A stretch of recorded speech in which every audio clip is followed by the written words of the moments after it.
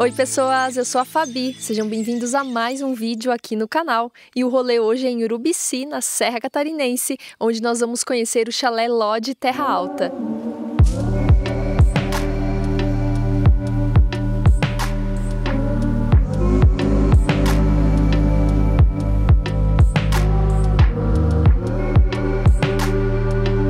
Quarta-feira, 20 de dezembro de 2023, faltam 10 dias para acabar o ano.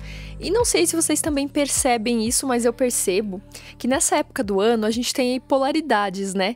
É, o nosso corpo, a nossa mente, enfim, a gente está pedindo descanso para a gente desacelerar depois de um ano super corrido, mas ao mesmo tempo a gente tem muita função de trabalho, porque todo mundo quer resolver tudo ao mesmo tempo aí, a tudo que não foi resolvido durante o ano, resolver agora nessa reta final aí, para entrar num novo ano com tudo certo. Por esse motivo que a gente ficou tanto tempo sem postar vídeo aqui no canal, porque como vocês sabem, a gente trabalha com outras coisas, então isso demandou muito da gente e a gente não conseguiu subir vídeo aqui no canal. Inclusive, não sei quando esse vídeo vai entrar, se entra esse ano ou se ano que vem, mas a gente conseguiu, ainda bem, sair hoje cedinho, a gente acordou, era de madrugada. A gente viu o sol nascer, pegamos paisagens belíssimas no caminho e chegamos aqui é, ainda cedo para curtir essa experiência, essa vibe aqui que o nosso corpo tá pedindo, né? Mas conseguimos parar de fato é, para aproveitar só agora, final da tarde, porque a gente estava trabalhando na loucura. Quando eu cheguei, eu já vi que tinha ali um kit de boas-vindas esperando a gente. E aí agora eu vou ver se a gente vai comer ele aí, comer o kit. Vou mostrar para vocês antes, né? Mas eu vou ver se a gente vai aproveitar ele agora ou se a gente vai deixar pro café da manhã. De qualquer forma, é, eu vou passar um cafezinho e curtir essa paisagem linda que tem aqui na minha frente, porque, gente, sério, mais uma paisagem belíssima, viu, aqui da Serra, tá de parabéns.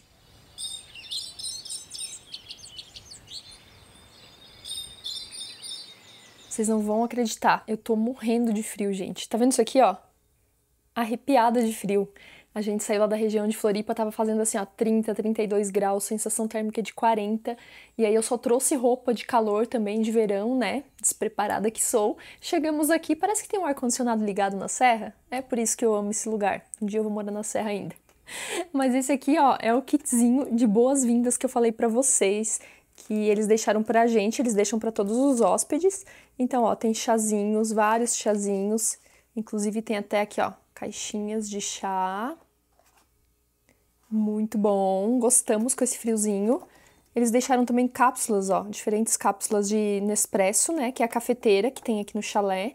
Então, caso vocês venham e queiram mais cápsulas, tragam de casa. Deixaram isso aqui que eu achei muito interessante, ó, que é um melzinho aqui da região pra gente experimentar e é personalizado com o logo do chalé. Olha que bonitinho. Achei bem legal. E aí, para acompanhar o chazinho, o cafezinho, eles deixaram uma torradinha, ó, uma torradinha e o melhor de tudo, Nutella, né, gente? Vocês sabem que a formiga que adora Nutella. E a gente já decidiu que a gente vai aproveitar aqui o nosso kit de boas-vindas hoje, porque amanhã, para o café da manhã, a gente trouxe uma coisa melhor para experimentar junto com vocês, vocês vão entender. Não melhor que isso, né? Mas uma coisa é, inédita aqui no canal, assim, que eu amo e vou experimentar com vocês. E eles deixaram também café pra gente passar, e eu acho que hoje a gente vai fazer o cafezinho passado, que estamos com vontade, para aproveitar o nosso kitzinho de boas-vindas aqui. Ah, e uma informação importante: o café da manhã não está incluso na diária, né? Então por isso eles deixam um kitzinho de boas-vindas. Então vocês podem trazer o café de vocês, como a gente fez, mas eles também têm parceiros que entregam aqui. Então quando vocês fizerem a reserva, vocês já podem combinar com esses parceiros a entrega da cesta de café da manhã também, caso não queiram trazer, não queiram fazer o café da manhã, né?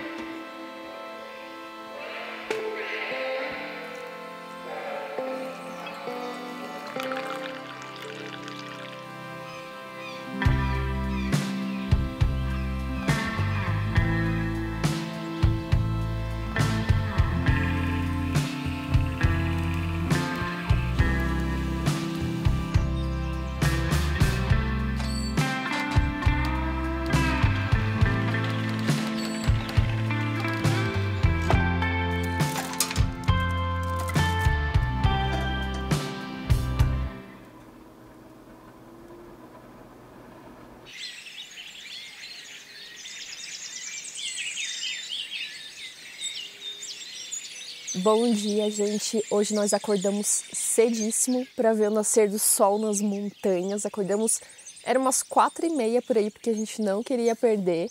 E agora são seis e um e eu já tô prontíssima, arrumada, pronta para tomar o meu café, que é especial hoje, ó. O cafezinho já tá aqui, passamos o cafezinho. E hoje o Experimentando Comidas vai ser no café da manhã, porque eu trouxe um negócio muito legal pra gente experimentar. Red Velvet é o meu bolo predileto. Eu sei que o que vendem por aí não é o original, que é feito com beterraba e tudo mais, mas mesmo assim eu adoro. E a Starbucks lançou um panetone de Red Velvet, gente. Vocês não estão acreditando. E eu trouxe ele pra gente experimentar juntos. Olha só. Olha, tá prometendo bastante. Estão vendo a foto?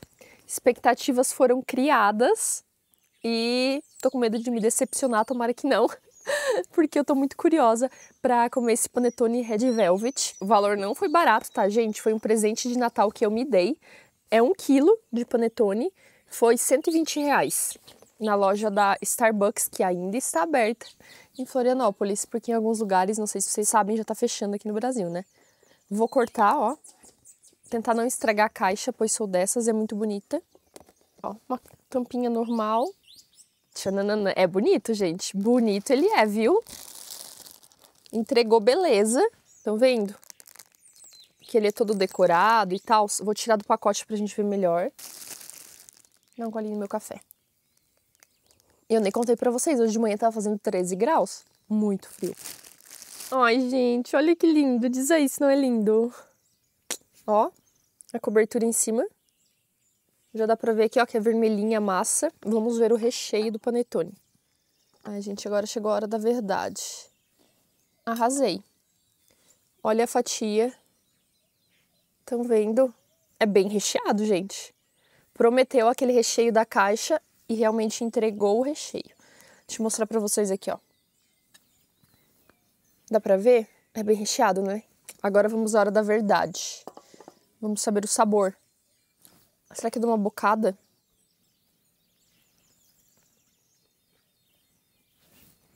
Hum. Vou precisar dar mais uma bocada pro meu veredito.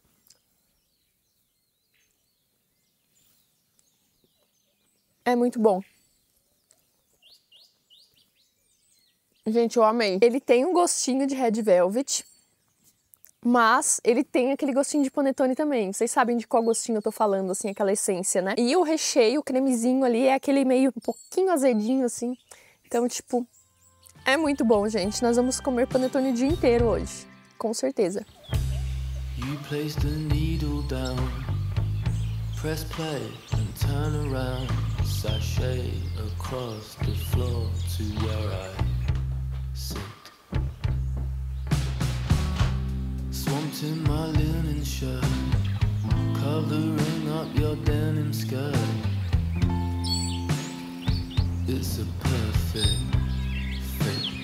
Gente, passando para lembrar vocês, como em todo vídeo, para vocês se inscreverem no canal. Eu sei que tem muita gente que assiste o canal pela TV e é mais chatinho se inscrever, mas isso ajuda muito a gente, ajuda muito o YouTube a entregar também o nosso conteúdo para mais pessoas. Ai, gente, olha que fofo. O chalé tem uma arvorezinha de Natal. Uma mini arvorezinha, a gente tá deixando as luzes ligadas, né? Pois semana de Natal. E na real, isso aqui não faz parte da decoração. Esse aqui é o boné do senhor Henrique, que ele deixou aqui. E o Pop é o quê? Ele nasceu para viajar, mas é forçado a trabalhar. Só lamento. E o tempo hoje tá assim, ó, gente. Uma hora tá fechado, tipo agora. E aí outra hora abre sol. A gente já teve no Morro da Igreja aqui em Urubici e foi uma das vistas mais lindas que a gente viu. E aqui não é diferente. Aqui é o nosso chalé, o deck, e lá tem outro.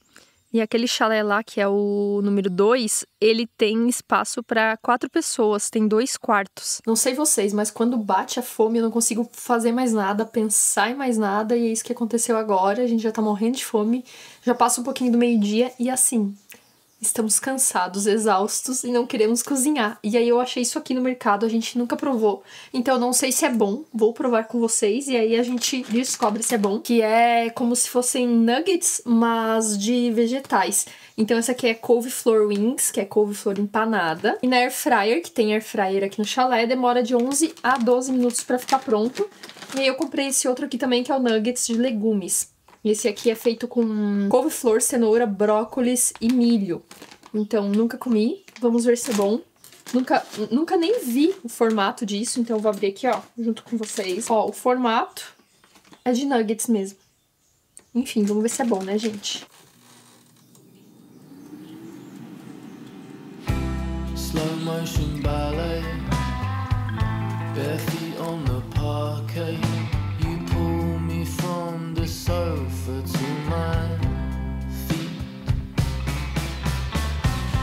Red wine cigarette. Lipstick kisses upon my neck. You pull me close so I can feel your Gente, essa é a vida de burguesa safada, de herdeira que eu pedi a Deus e hoje eu tô vivendo ela aqui por uns 15 minutos, que é o que temos para hoje. E o nosso plano para amanhã é conhecer um lugar que a gente quer conhecer muito, faz bastante tempo, mas a gente tinha muito medo, a gente não, a gente tem muito medo de subir a Serra do Corvo Branco. A gente quer conhecer aquela fenda famosa, sabe? Só que a gente tem medo de subir aquela serra, né? A Serra do Rio do Astro, vocês sabem que a gente sobe direto, não temos medo, mas aquela ali é assustadora. Então, a gente lembrou que por Urubici a gente consegue acessar a fenda sem precisar subir a serra. Então é isso que a gente vai fazer amanhã. A gente vai acordar bem cedão para ir lá e se der certo a gente mostra para vocês e se der errado a gente mostra também.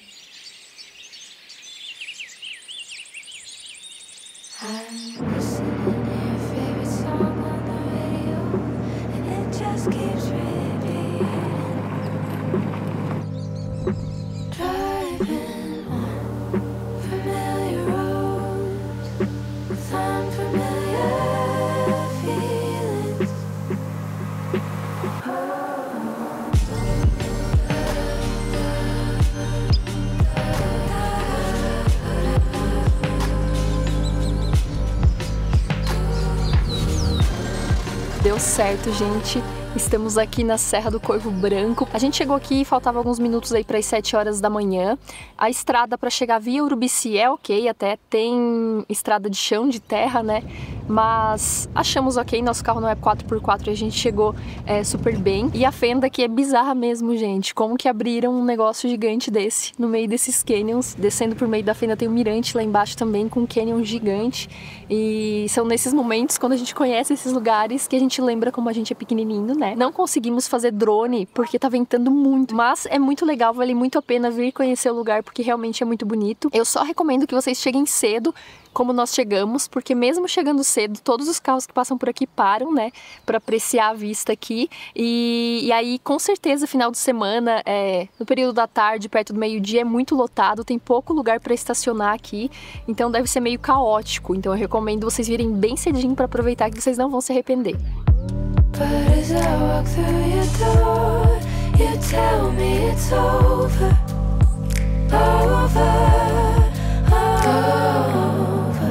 De volta no chalé, mas voltamos só para pegar as nossas malas, porque daqui a pouquinho já é o nosso check-out. Mas antes disso, eu vou fazer um tour para mostrar todos os detalhes do chalé para vocês.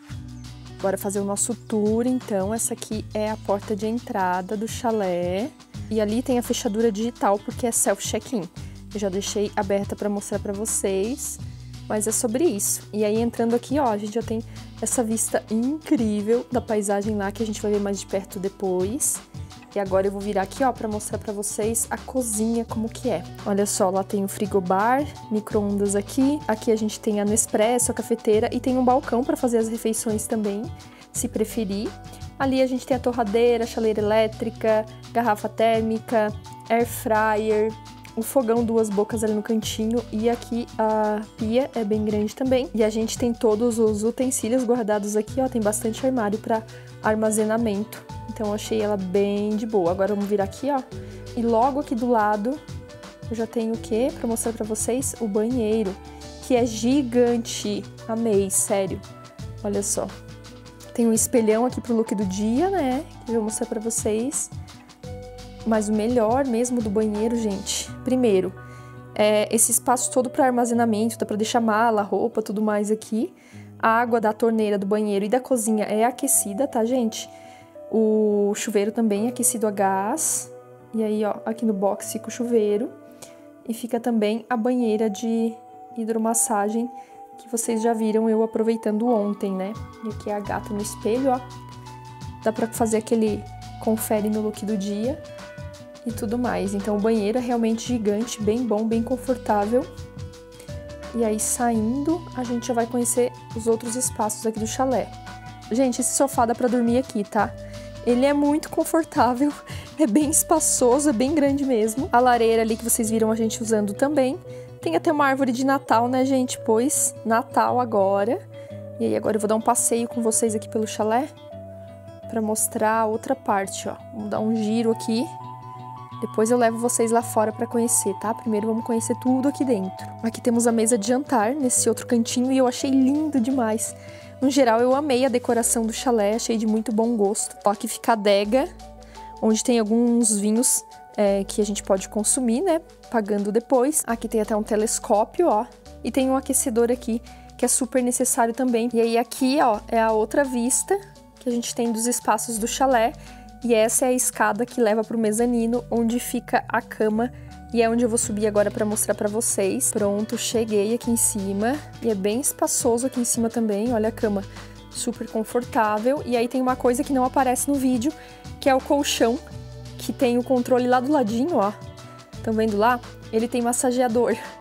Ai, gente, sério, é muito bom o colchão com massageador. Eu quero lá pra minha casa também. Deixa eu virar aqui pra mostrar pra vocês. Olha só, aqui de cima. Bora conhecer a paisagem também e o deck externo. Olha só que linda a vista daqui, gente. Sério, é demais. Eu já falei para vocês que eu fico impressionada com a vista aqui do morro da igreja, né? Olha só que incrível. Aqui a gente tem mais duas cadeiras e uma mesinha. Olha só. Ali ficou outro chalé, como já mostrei também. Aqui do lado a gente tem espaço para fazer fogo e essa aqui então é a frente do chalé e é com ela que a gente vai finalizar o nosso tour. Olha que linda paisagem espelhada. Bom, agora que vocês já viram todos os detalhes, vou contar um pouquinho sobre coisas que não aparecem no tour e eu ainda não falei no vídeo, né? Que é sobre a chegada até aqui. Então, a chegada até aqui é boa parte por asfalto, mas tem 3 quilômetros de estrada de terra, que é super acessível. A gente chegou com o nosso carro normal, que não é 4x4, né? O contato com a anfitriã também é muito tranquilo, ela passa todas as informações, passa um manual também com dicas aqui da região, porque Urubici tem muitos lugares incríveis para conhecer, então isso é super tranquilo também. E a conexão de internet aqui no chalé também é super boa. A gente trabalhou daqui e fizemos vídeo chamada, então com isso vocês não precisam se preocupar. Agora falando sobre valores um pouquinho, a diária aqui nos chalés varia de 900 a 1.300 reais, dependendo aí da data que você escolher, né? Eu vou deixar, como sempre, o link para reserva na descrição desse vídeo e também no primeiro comentário, caso vocês tenham interesse.